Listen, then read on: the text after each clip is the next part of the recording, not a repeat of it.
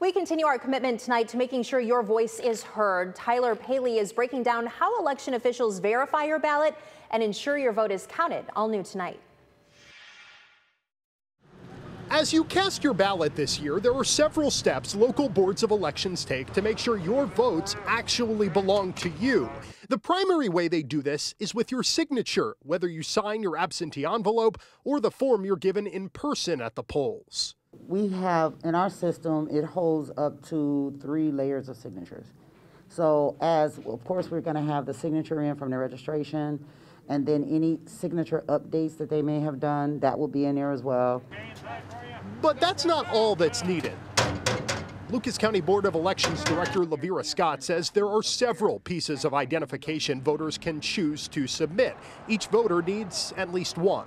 That one form can be your driver's license, it can be your state ID, it can be the last four digits of your social security number, it can be you sending in a, a copy of a government document with your name and address on it.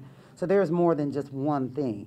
Scott says election officials aren't looking to disqualify any ballots, but if there's information missing, you'll receive this form in the mail, known as an 11S, which asks for further proof of identification. And Secretary of State Frank LaRose says you'll never be in the dark about where your ballot is.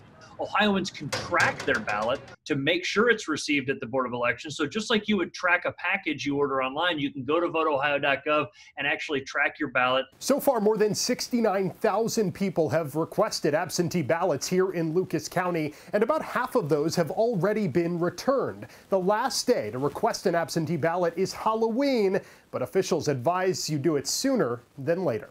Reporting, Tyler Paley, WTOL 11.